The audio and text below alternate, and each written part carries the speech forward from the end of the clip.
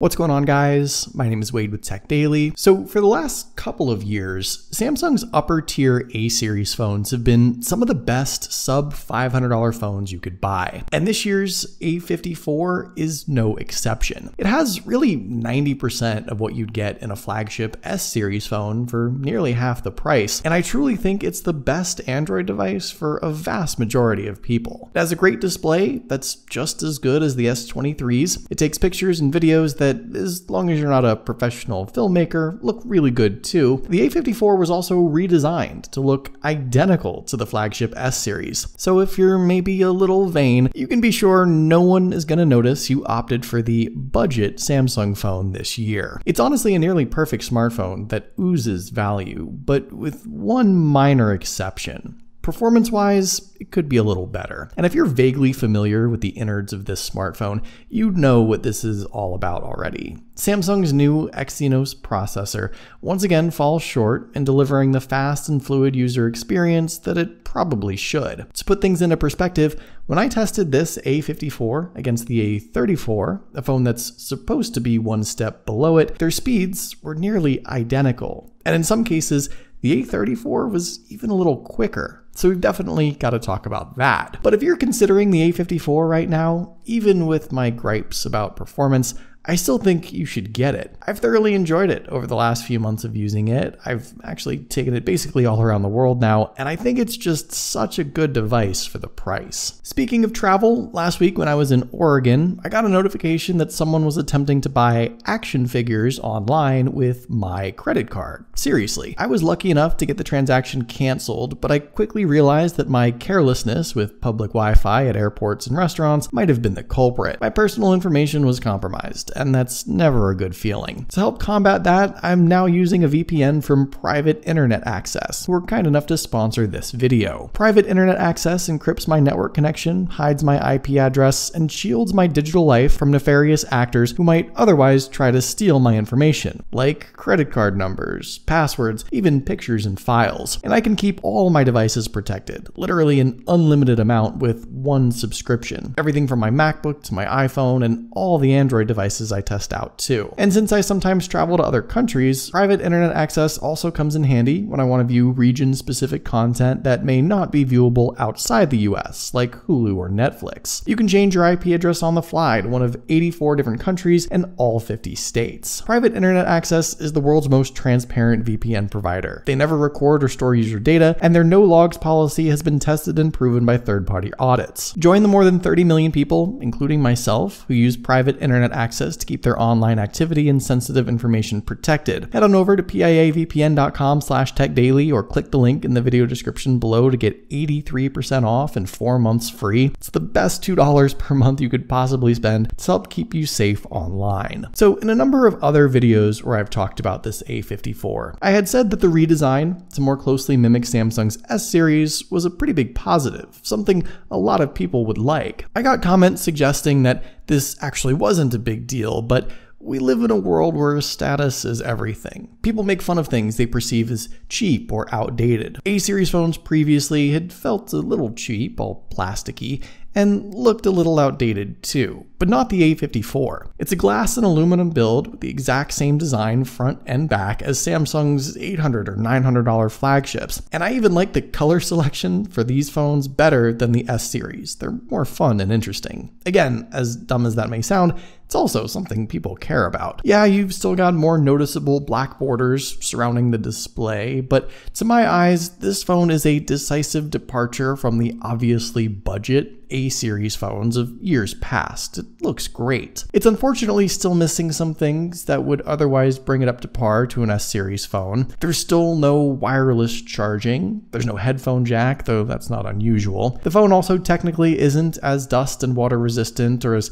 tough and rugged as S series phone. It's a pip lower on the IP certification scale, and the front and back glass aren't Gorilla Glass Victus, but you still get an SD card slot, so that's one point in favor of the A54, and the in-display fingerprint sensor is far better than what we used to have on previous A50 something and A70 something phones, though again, it's not the ultrasonic sensor that the S series phones have had, so it's not as quick to unlock. It's also got dual stereo speakers for a better out loud listening experience experience. So, all in all, its physical features are almost what you'd want to see on a mid tier or higher end phone, and I personally don't have anything to complain about there. The display on the A54 is also probably better than you'd expect. It's a 6.4 inch Super AMOLED 120Hz display at the full 2340 by 1080 resolution. Spec for spec, it's almost the display you'd get on the S23. The flagship phones have a better AMOLED panel, and they're quite a bit brighter too, but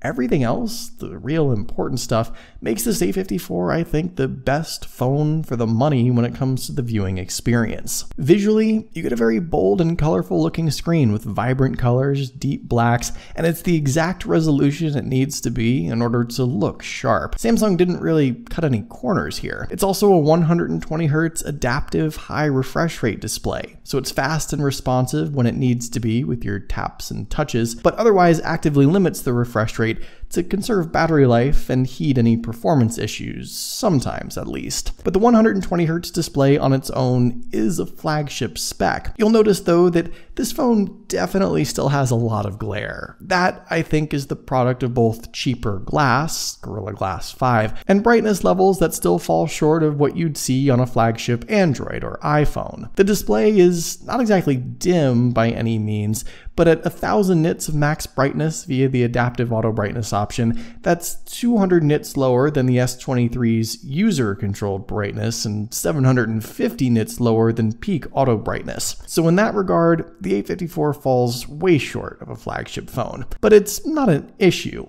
It doesn't give you a bad viewing experience necessarily. It's no Motorola phone. It's just the one thing that reminds you that this still is, in fact, a mid tier phone within Samsung's budget lineup. On the surface, the A54 appears to be the complete package. Nice build, good add on, solid display, but like I alluded to, its internal specs and performance I think is where it gets some much deserved criticism. This phone is powered by Samsung's new mid tier chipset, the Exynos 1380. You have the option of either 6 or 8 gigs of RAM and 128 or 256 gigs of storage. I think most people, especially here in the US, will be stuck with the lower tier configuration option, which by itself isn't really a bad thing. 6 gigabytes of RAM is fine, you still get the SD card slot anyway, like I said, but performance wise, when you really start to play around with this phone, you quickly realize that it really just doesn't perform like a 400 or $500 Samsung phone should. Now, let me be clear there are no specific glaring performance issues. I didn't have to reboot the phone for any reason. I wasn't stuck waiting on random things to load. The phone didn't overheat. It accomplishes the tasks I expect it to, but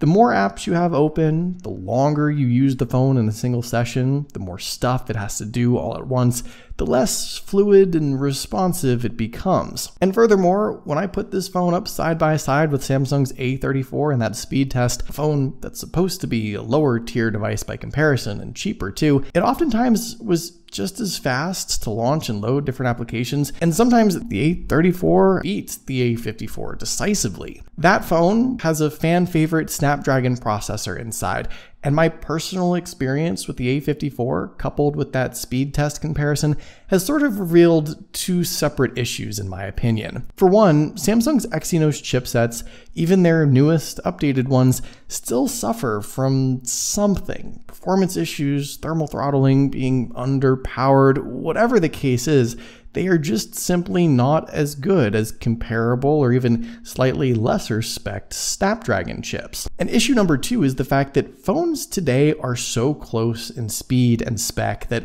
it's becoming harder and harder to actually differentiate between them. There's going to be a big difference between the A54 and an S series phone still, but between the couple of A series phones, not so much. So that means that if performance is most important to you, you probably already have a flagship Samsung Samsung phone. If it isn't, maybe the A34 for less money is the better buy here. You miss out on some other stuff, of course, going with the A34. It is the lesser device, but the phones are so close this year that it's not a huge deal. In any event, the A54 continues to be a great overall value, and Samsung even pledged four years of Android updates and five years of security patches. So it's now a long term sort of phone, too. You could keep this phone for the full four years or wait a year or two before before you even buy it in the first place, and you'll know that you're good for a few more years beyond that. I think besides the stigma over Samsung's Exynos processor, the A54 is still such a solid bang for your buck device. I just wish Samsung would have done something to cement this phone as a true performance focused device. It's not decisively better than the A34,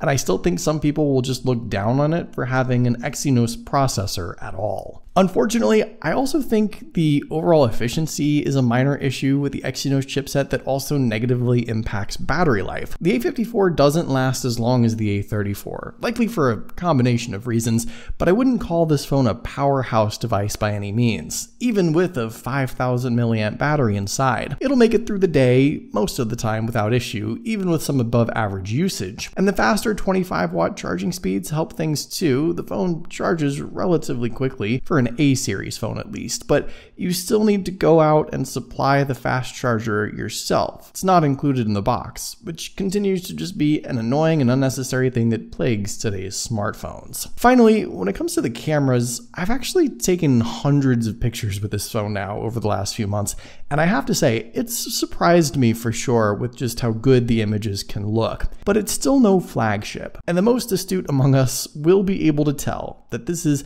an A series camera setup. The rear main lens is a 50 megapixel shooter, which you can take full advantage of with the high megapixel shooting mode. You can capture a lot more detail in every shot. There's a 12 megapixel ultra wide, which I think is a must have, and the 5 megapixel macro lens, which I personally don't care for much, but I guess it comes in handy from time to time. The selfie lens is a solid 32 megapixel shooter and inside the camera app, Samsung presents you with most of the shooting modes and options you'd want, and some stuff you'll likely never use, though there's nothing specific here on this phone that you wouldn't otherwise find on any other Samsung phone from the last few years. You can shoot 4K video, there's some additional camera settings that bump this phone up a notch or two higher than most other budget devices, and like I mentioned, I've wound up taking some really good pictures and videos with this phone. I would personally describe the images as bright and colorful, two traits that the average person would probably see as a positive. The images at times, though, do look